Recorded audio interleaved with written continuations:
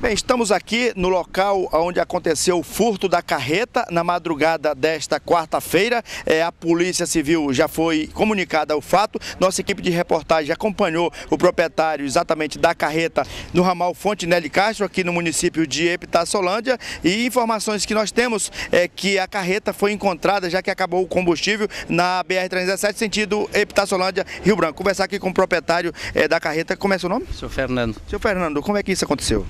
Olha, é, eu cheguei de viagem com esse caminhão que está aqui cerca de meia-noite e a carreta estava estacionada aqui. Aí fui para casa e o motorista da carreta dorme aqui perto num quarto que ele alugou. E aqui o vizinho em frente tem a câmara que filmou, exatamente 13h45 a carreta saiu neste sentido aqui. É, fomos fazer a os trâmites normais, né? O, o, a ocorrência na delegacia, fomos para a rádio e um amigo nosso de viagem para Porto Velho localizou a carreta na beira da estrada, provavelmente sem diesel, porque ela estava com pouco diesel. E aí nos informou que a carreta está encostada na beira da pista, mal estacionada até. Parece que a Polícia Rodoviária Federal já foi também acionada por ele, já foi para lá. E nós estamos a caminho de, de lá para ver se trazemos o caminhão de volta. É um caso inédito sumir um caminhão daqui, especialmente deste local, mas aconteceu.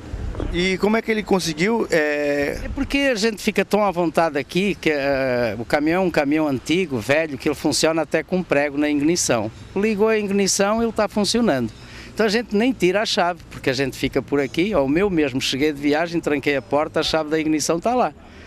É, e esse aí funciona até com um prego, porque é uma chave do Mercedes antigo, qualquer coisa que se ponha em contacto lá, ele aciona a partida. Então, eh, não é difícil, não. Essa outra aqui é sua? É, é nossa, que nós trabalhamos aqui, temos uma transportadorazinha, né? é nossa.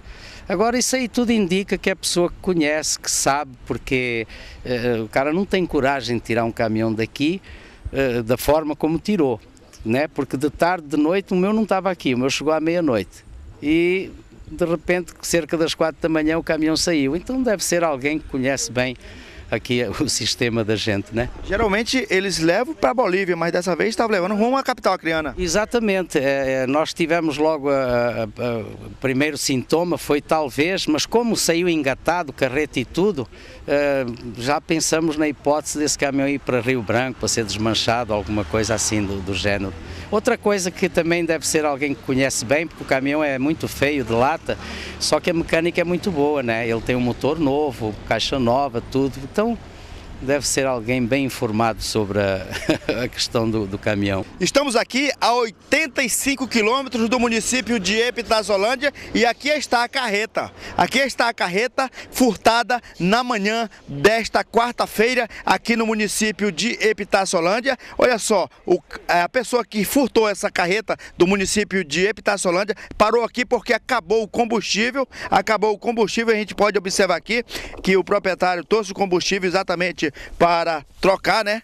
Para trocar e aí a gente observa o trabalho é, também da Polícia Rodoviária Federal que está aqui no local fazendo exatamente o registro deste furto que aconteceu na madrugada desta quarta-feira no município de Epitaçolândia. O proprietário teve muita sorte porque a carreta estava com pouco combustível e parou aqui a 80 quilômetros do município de Epitaçolândia.